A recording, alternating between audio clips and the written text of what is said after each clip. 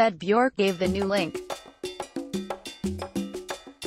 But although Bjork assumed the points lead with victory, Cyan Racing was denied a 1-2 finish with its new WTCR challenger when early leader Yvan Muller slowed.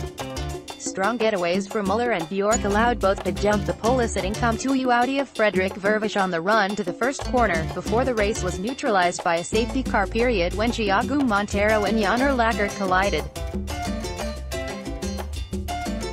Monteiro had failed to get by Vervisch on the outside at the first corner, and his KCMG Honda Civic Type R was the tapped by the Cupra of Mikel Azcona, who subsequently made it past the Honda at turn 3. That overtake allowed Münnich Motorsport Honda driver Esteban Guerrieri to have a look at passing.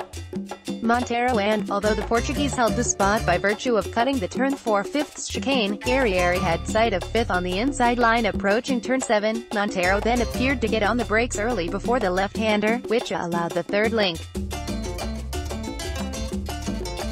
Ehrlacher had better speed than either of the Hondas approaching the braking zone, but he could not clear the two cars before turning in and coming across the front of Monteiro's Civic. That threw off into the barrier, with a Lynk.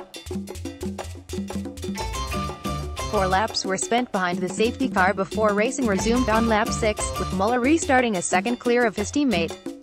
Bjork held station in second in the first laps after the restart but came under intense pressure from Vervisch with Azcona keeping the pair in sight.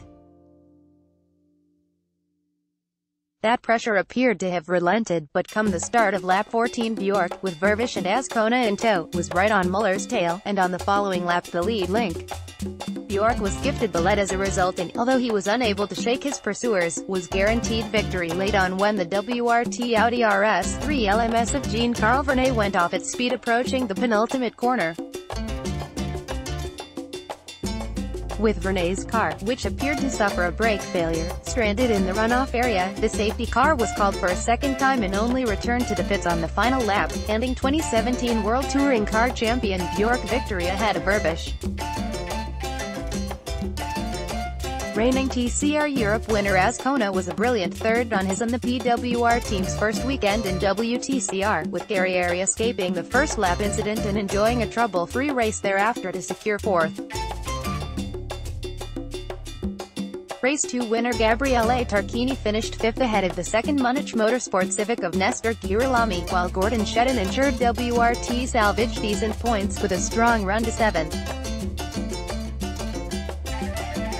Second BRC Hyundai of Norbert Michelisz, mocking was Team Mulsanne Alfa Romeo Giulietta Veloce and Azcona's PWR teammate Daniel Haglöf completed the top 10. Hungarian teenager Attila Tassi rose from 22nd on the grid to finish 11th, ahead of Moroccan racer Mehdi Bennani, World Touring car attorney Andy Priaulx, Comtoyou Cupra driver Tom Coronel and Rob Huff, Sébastien Loeb Racing Volkswagen.